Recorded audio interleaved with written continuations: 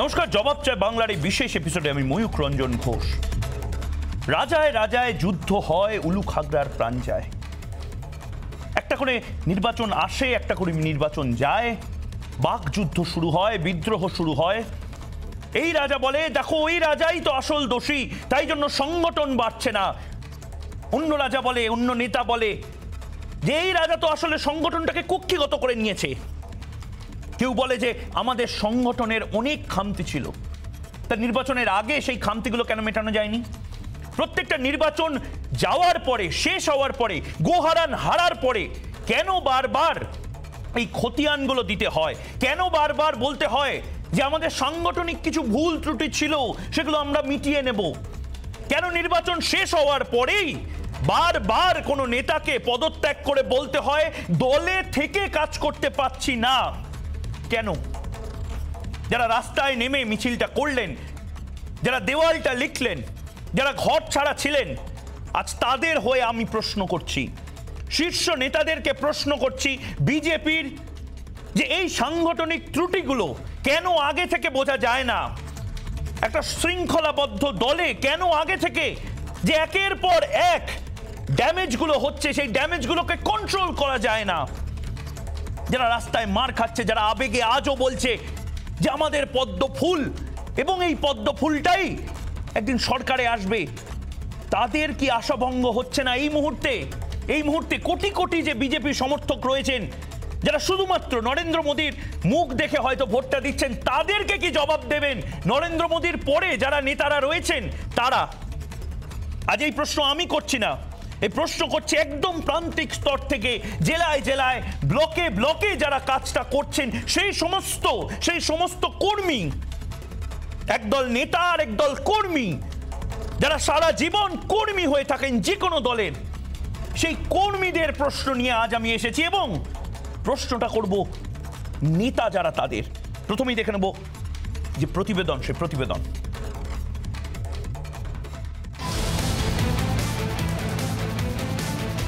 একুশের বিধানসভা থেকে শুরু। এরপর পঞ্চায়েত, পুরভোট, এমনকি উপনির্বাচনেও আশানুরূপ ফল হয়নি বিজেপির। যদিও বিজেপির দাবি, রাজ্যে লাগামহীন সন্ত্রাসের কারণে ভোট নেই বিজেপির ছলিতে।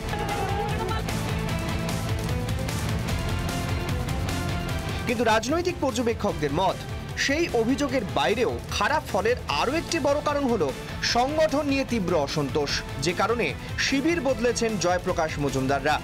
সেই ক্ষোভের তালিকায় নতুন সংযোজন, গৌরী শঙ্কর ঘোষ। রাজ্য বিজেপির সম্পাদক পদে ইস্তফা। আজকে অধ্যক্ষ তৃণমূলের দলদাস, তৃণমূলের সঙ্গে যুক্ত তাদেরকে নিয়ে এসে জেলা কমিটি, মণ্ডল কমিটিতে বসানো হচ্ছে। আমরা রাজ্যকে জানানো সত্ত্বেও রাজ্য কোনো সদুত্তর দেয়নি। গৌরীশঙ্করের অভিযোগের কাঠগড়ায় রাজ্য নেতৃত্ব। সেই রাজ্য নেতৃত্বের বিরুদ্ধেই সরব বিজেপি সাংসদ তথা বিজেপির প্রাক্তন যুব মোর্চার সভাপতি সৌমিত্র খা। দেখুন, এটা তো অস্বীকার করে লাভ নেই। তৃণমূল কংগ্রেসের কাছে আমাদের শেখার আছে এবং অপরিণতদেরকে দিয়ে রাজ্য নেতৃত্ব মাথায় বসালে, এই অবস্থাটা দাঁড়িয়ে যায়।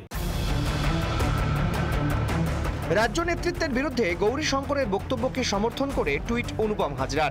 টুইটে অনুপম হাজরা লেখেন, আসল রহস্যটা কি? কেন এতগুলো ইস্তফা একসঙ্গে?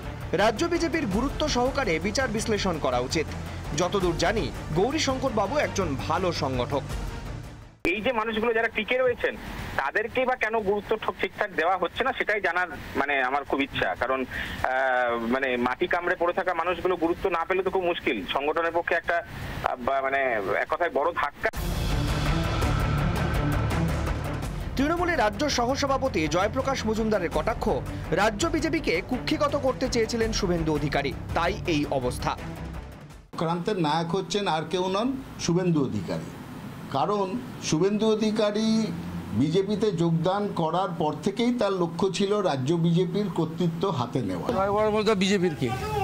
ওইসব হরিদাস পালদের কথার উত্তর আমি দিই তবে শুধু গৌরীশঙ্কর ঘোষী নয় তালিকায় নাম জিতেন চ্যাটার্জির। তার দাবি বিপদের দিনে একমাত্র শুভেন্দুকেই পাশে পেয়েছেন। জিতেন চ্যাটার্জির মন্তব্যকে কটাক্ষ দুর্গাপুরের বিজেপি নেতা লক্ষণ ঘরুয়ের যদি সাপোর্ট না করে, তাহলে কি করে হবে? দু হাজার উনিশের পর থেকে কেমন একটা অন্য রকমের এখানে বাতাবরণই তৈরি হয়েছে এবং দু হাজার একুশের পর তো পাণ্ডবসের যেভাবে আমরা দল দেখেছি, সেটা কিছুই নেই। গুলি চলেছে হ্যাঁ বেঁচে গেছে উনি। আমরা জানি এটা। সারা বাংলায় চলছে এটা। অনেক বছর পরে পঞ্চাশ যখন খুন হয়ে গেছে আমি করতে পেরেছি? করতে পারিনি।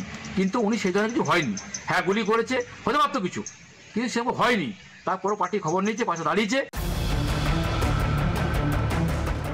রাজনৈতিক মহলে প্রশ্ন, একের পর এক ভোটে হারের পর যখন দলের হাত শক্ত করা দরকার, তখন সংগঠন নিয়ে ক্ষোভ প্রকাশ্যে তুলে ধরছেন বিজেপি নেতারা।